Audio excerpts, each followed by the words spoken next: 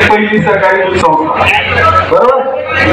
आम्ही दूध किती घातले माहिती वर्षभरामध्ये.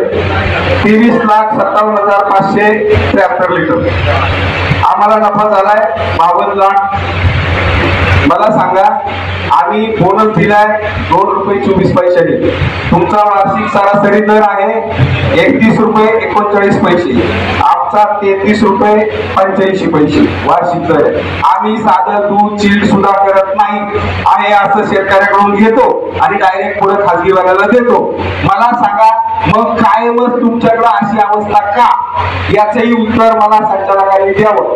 कारण या ठिकाणी प्रत्येक शेतकऱ्याची अपेक्षा काय असती? त्याला दोन पैसे जास्त मिळाले पाहिजे. याच्यासाठी का प्रयत्न करत नाही तुम्ही? हे माझ्याकडे पुरावेत आमचाही अहवाल घेऊन आलोय तुमचाही घेऊन आलोय.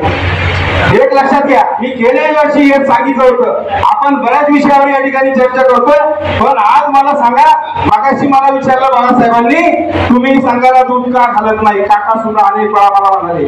कशाला घालायचं? पन्नास लाखाचं नुकसान करून घ्यायला आमचं. कशाला घालायचं सांगायला दूध? याच्यावर बोला की आम्हाला. याच्यावर आज आम्ही दहा हजार काढतो कष्ट करतो. आम्हाला पण अपेक्षा आहे आमची लेकरं बाळ आहे. याच्यावर बोला. आणि प्रत्येक वेळेला डिव्हिडंड द्यायला तुम्ही रडताय बोनस द्यायला रडताय प्रत्येक ठिकाणी रडता. याच्यावर बोला की का तुम्ही कमी पडता इथं का कमी पडता याचं उत्तर द्या हा, बस अहो पण आमचे पैसे आहेत ना तुमच्याकडे? त्याचं व्याज मिळत नाही का? नाही हे जे डिव्हिडंड असतं ना विषय समजून घेतलेला आहे. नाही नाही आम्हाला पाच वर्षाचं डिव्हिडंड पाहिजे तुम्हाला मी मागे बोललोय. आणि मग त्याच्यासाठी उगाच आंदोलन करायला लावलं का आम्हाला. नाही मागच्या वर्षीचा डिव्हिडंड पाहिजे आता. मागच्या वर्षीचा डिव्हिडंड पाहिजे संस्था